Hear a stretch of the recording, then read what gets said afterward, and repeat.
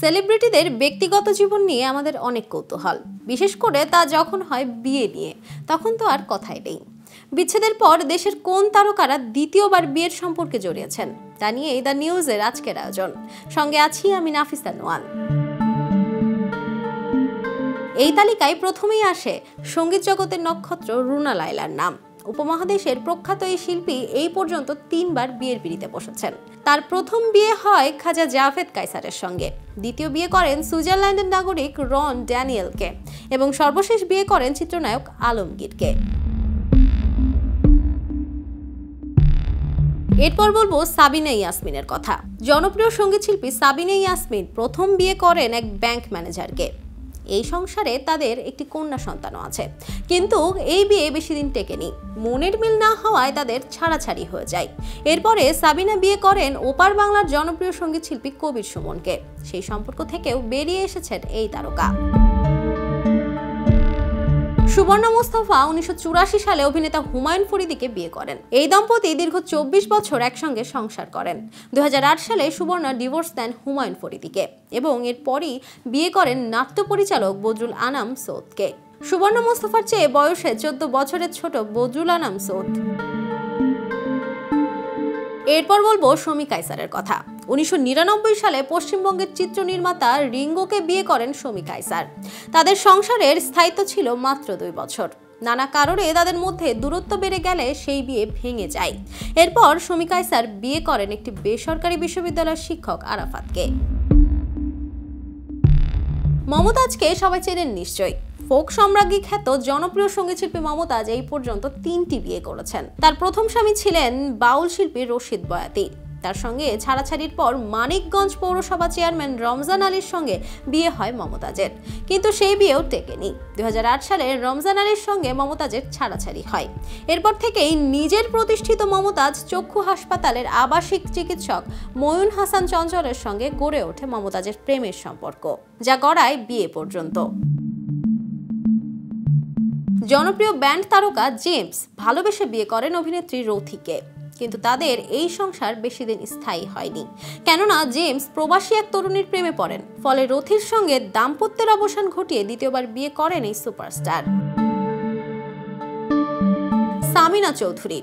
সংগীত শিল্পী সামিনা চৌধুরী জনপ্রিয় শিল্পী, সুরকার ও সংগীত পরিচালক নকিব খানকে বিয়ে করেছিলেন। মতের অমিল হওয়ায় সামিনা নকিবের বিয়ের সম্পর্ক ভেঙে যায়। পরবর্তীতে সামিনা চৌধুরী বিয়ে করেন অনুষ্ঠান নির্মাতা এজাজ খান স্বপনকে। অভিনেত্রী বিজরি বরকতুল্লাহ ও সংগীত পরিচালক শওকত আলী ইমন একে অপরকে ভালোবেসে বিয়ে করেন। তাদের ঘরে ফুটফুটে সুন্দর এক কন্যা সন্তান জন্ম হয়। কিন্তু তাদের এই বিয়ে বেশি দিন টেকেনি। ডিভোর্স হয় তাদের। বিজরি পরে বিয়ে করেন অভিনেতা ইন্তেখাব দিনারকে। সঙ্গীতশিল্পী ডলি শাওন প্রথমে বিশিষ্ট গীতিকার রিজবিকে বিয়ে করেন। সেই ঘরে দুটি কন্যা সন্তানের জন্ম হয়। তবে এই বিয়ে টেকেনি বেশি দিন।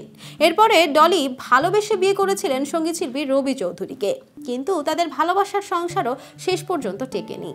এরপর চট্টগ্রামের এক ব্যবসায়ীকে বিয়ে করেন তিনি। সেই সম্পর্ক ভেঙে যায় তাদের। পরবর্তীতে সোহেল আরমান দ্বিতীয়বার বিয়ে করলেও সেই সংসারেও ভাঙন ধরে।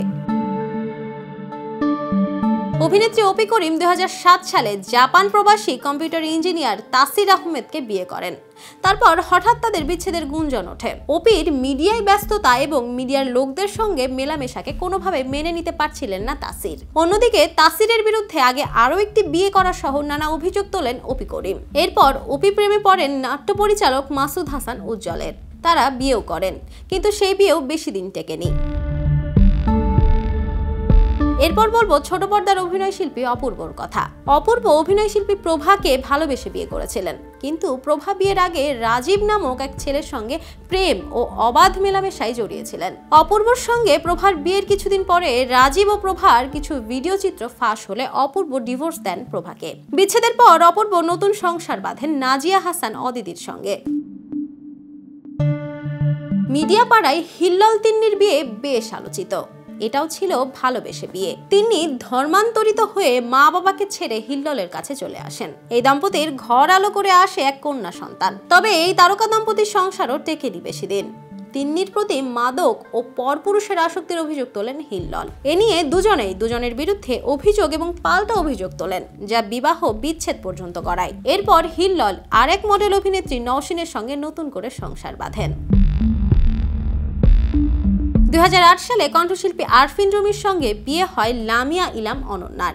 দুই হাজার দশ সালের তাদের একটি পুত্র সন্তান হয়, কিন্তু তাদের এই সংসার বেশি দিন টেকেনি। দুই হাজার বারো সালে অনন্যার সঙ্গে দাম্পত্য সম্পর্ক ত্যাগ করে আমেরিকা প্রবাসী কামরুন নেসাকে বিয়ে করেন রুমি। কণ্ঠশিল্পী হৃদয় খান। বয়স একুশ না পেরোতেই দুটি বিয়ে সম্পূর্ণ করেন তিনি। প্রথমে প্যাডবাদক মানিকের শালিকাকে বিয়ে করেন তিনি।